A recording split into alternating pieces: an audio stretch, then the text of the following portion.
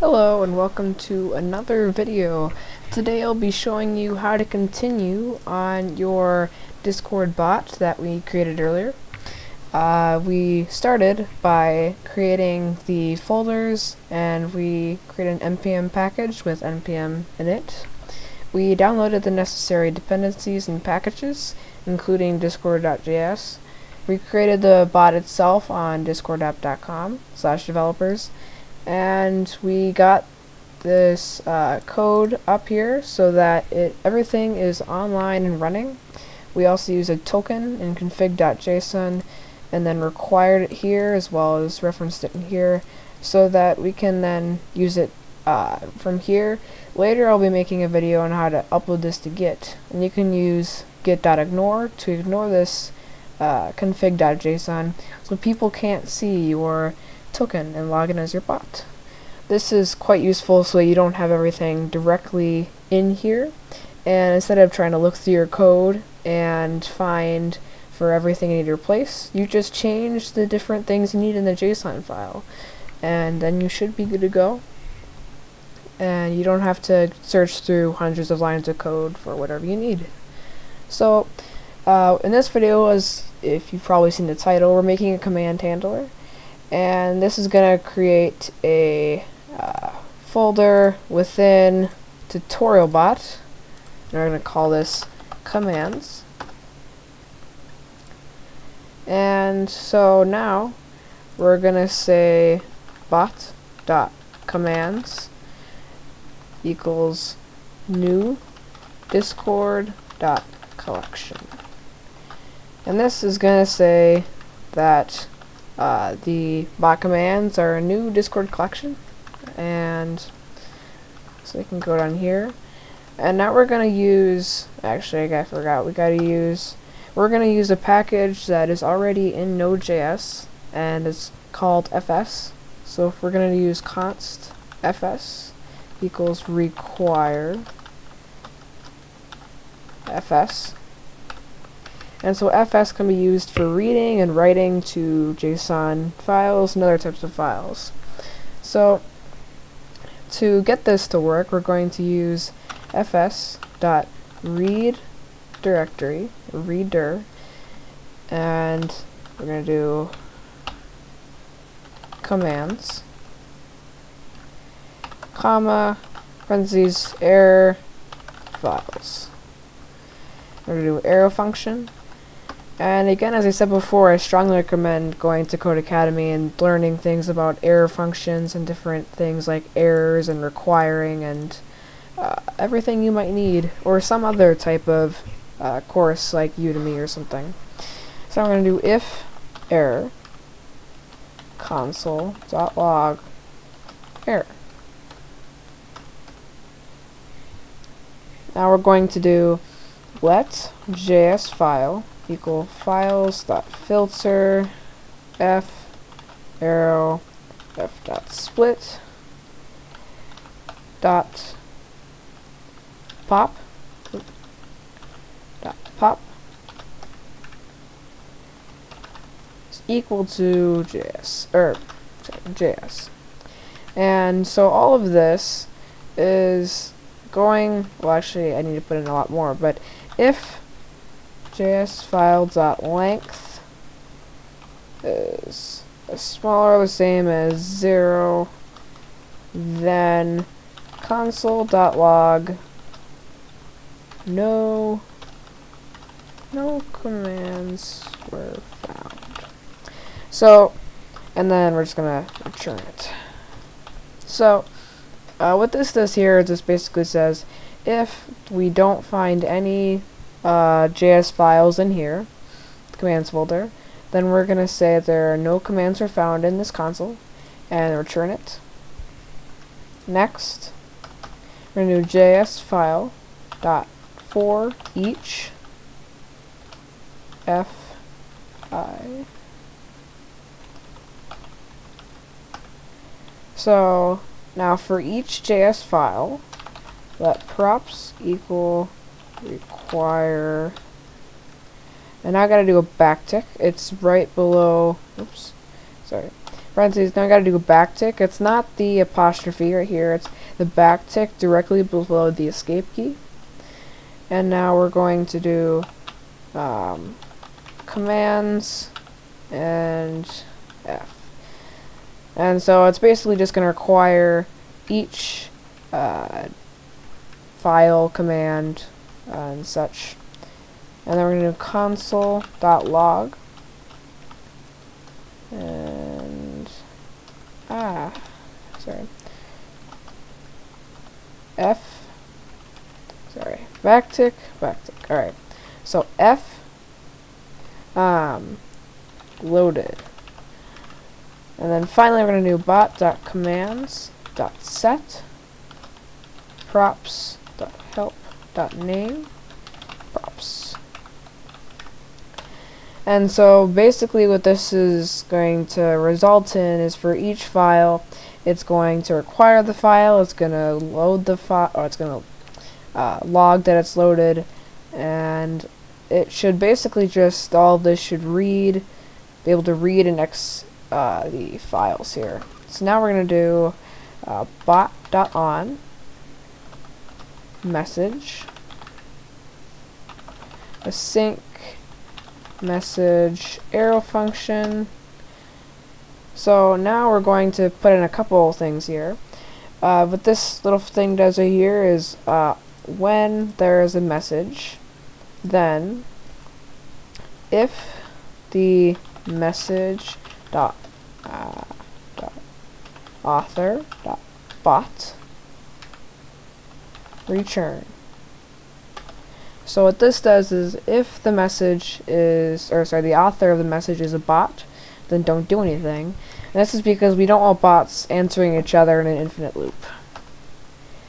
Uh, if message channel type is equal to DM or Discord message, then return. So if someone's trying to run things and commands uh, inside your private messages or DMs, Discord messages, then just return it. We're not going to do anything with that.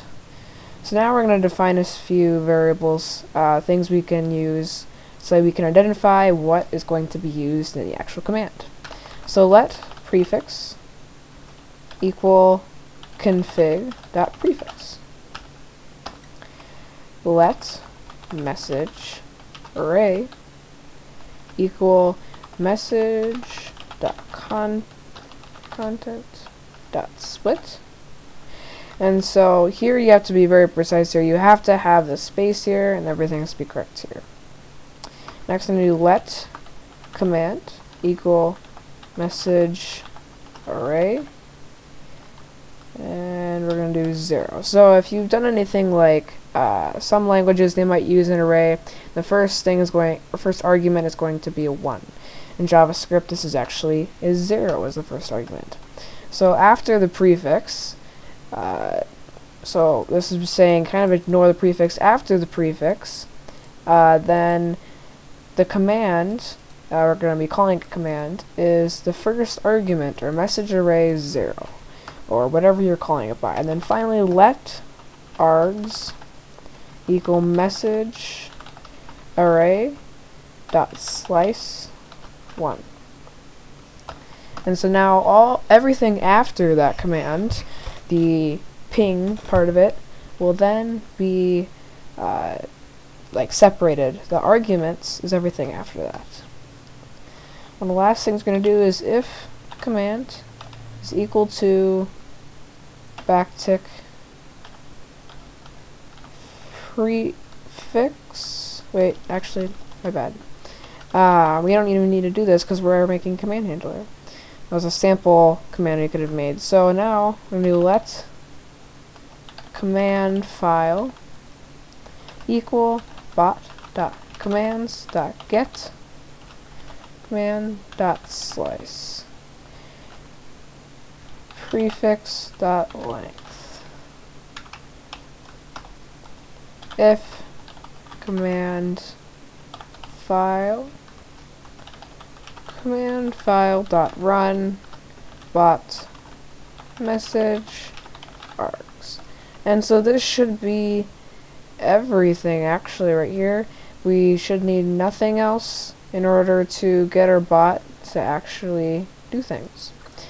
So, or to get any more things in here. So now if we were to run node bot.js, and right now you should see tutbot is currently offline, but if we were to run it, tutorial bot is in fact online. And let me see what I did here. Um, Alright, so right. Oh, I never saved this. My bad. So, node bot.js. So you need to make sure to save it. So now it's going to say no commands were found. In this command folder, there were no commands inside it. And that's just what we want. Now we can see tutorial bot is in fact online. Uh, if you saw before, it is watching. Right now, prefix is dash, and it is indeed. Alright, so now that it's, we can actually uh, make a new file in here. And we're going to call this ping.js. So, one of the things that we're going to be using, that's going to be the format for every single command we make, at least for the basic part of it, is we're going to require discord.js. So const discord equals require discord.js. Next I'm going to do module dot exports dot run equals um, async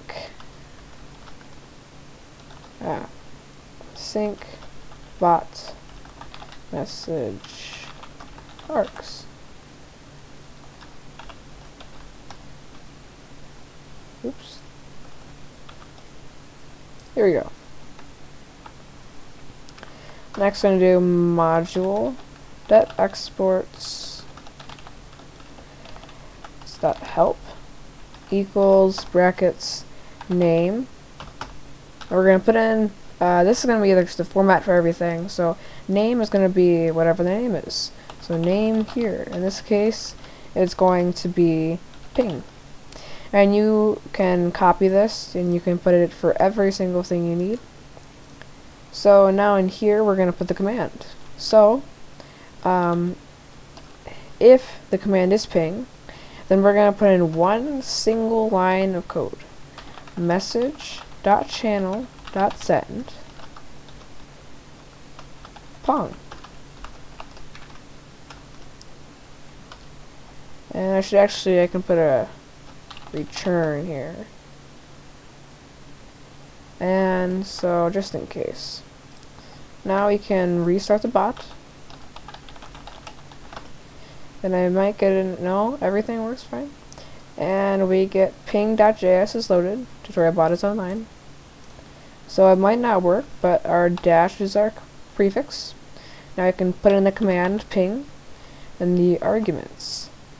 Uh, in this case we actually have no arguments. So, and the bot actually does respond with Pong. It responds perfectly, then there's no errors. And so this is great. We now have a command uh, handler, and everything is going well. Ping.js is loaded, there are no errors, and we can now use just put in a new file for every single command we have.